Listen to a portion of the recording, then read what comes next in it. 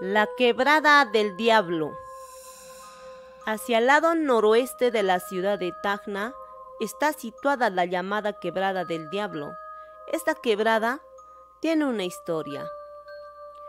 Cuenta la historia que dos viajeros iban cabalgando en sus caballos viejos por el antiguo camino de herradura que conduce de Tarata a Tacna.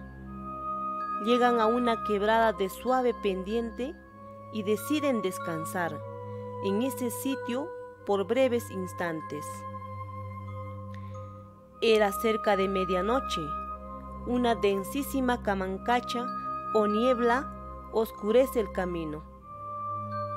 Los viajeros descienden de sus cabalgaduras y, extendiendo unos gruesos pellones de piel de carnero, se reclinan sobre la arena fría por la humedad de la noche. A pocos metros de distancia han asegurado las mulas, con maneas, o sea, con sogas para montar animales, colocadas en las patas delanteras. Luego los viajeros se pusieron a platicar. ¿No te parece que podremos llegar a la ciudad solo en la madrugada? dijo Pedro. Sí, Pedro, no hay prisa. Además, por otra parte, los caballos están rendidos por el largo viaje desde Tarata, contestó Ramón. Sí, hombre. ¿Quieres unas hojitas de coca? preguntó Pedro. Acepto, gracias, respondió Ramón. ¿Cómo nos olvidamos la botellita de pisco en la casa? dijo Ramón.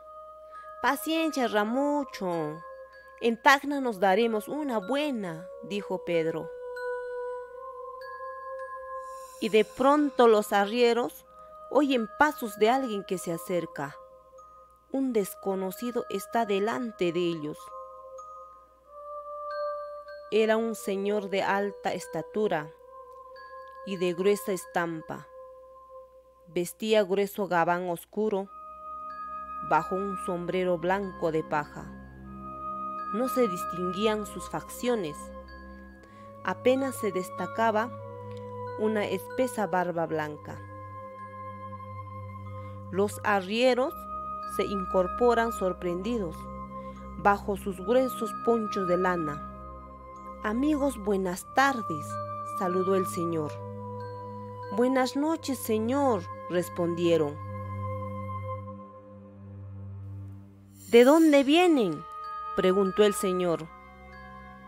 De la altura, caballero, dice Ramón con acento vacilante. Amigos, tienen mi casa para alojarse. La noche está fría, dijo el señor. En ese instante los arrieros se dan cuenta que a pocos pasos se levanta una mansión iluminada. Atraídos por una fuerza misteriosa, los arrieros siguen al extraño personaje, quien, con su voz afable, dice, Vengan amigos, vengan.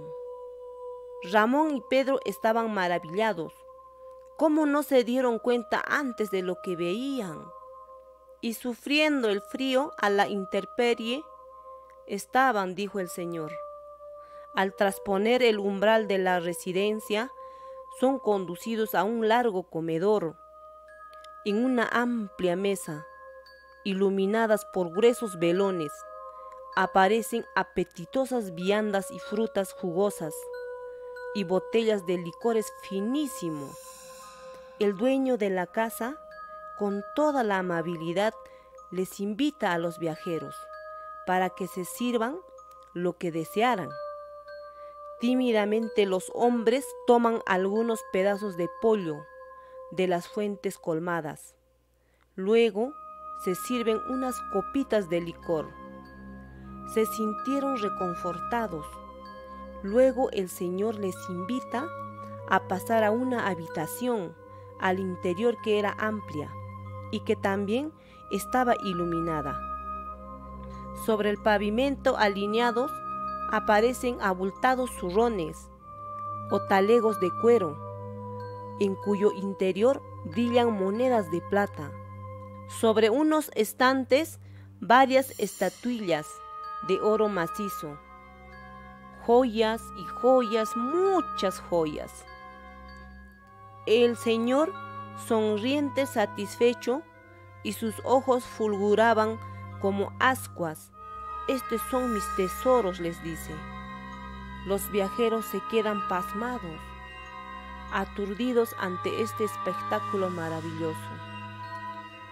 Pero Señor, balbucea uno de ellos, mientras que el otro siente que sus piernas se doblan y que algo como un escalofrío le recorre todo el cuerpo y apenas atina a exclamar, Jesús. En esto todo desaparece de la vista de los arrieros, como visión fugaz y de encantamiento. Ya estaba amaneciendo y la densa neblina se ha despejado, y los pobres arrieros se ven sobre la mojada y amarillenta arena de la quebrada, aterridos del frío, con fuerte dolor de cabeza y con los labios resecos, como si despertasen de una fatigosa pesadilla. ¿Qué nos ha pasado? dice uno de ellos. Es el Supai, el diablo. Vamos, dijo el otro.